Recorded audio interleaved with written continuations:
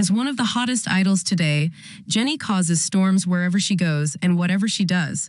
This is probably the time Jennie wants to forget the most because the e-cigarette scandal seriously affected the image she built.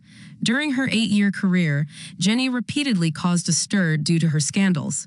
In addition to her top reputation, Jennie's list of boyfriends is also full of top names. Most recently, people have been in a stir over a series of dating hints between Jennie and Mingyu. Speculation arose from a series of overlapping outfits and accessories between Jennie and Mingyu recently. The male god of SEVENTEEN was seen wearing the same phone case as Jennie and wearing the same sweater.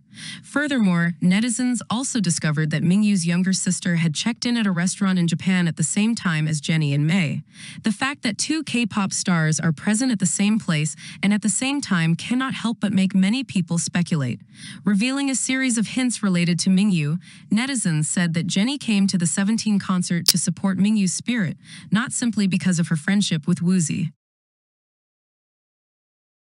Thank you for watching our videos on Korean ENT channel. Don't forget to subscribe to our channel and hit the like and share buttons to update the latest news of the day.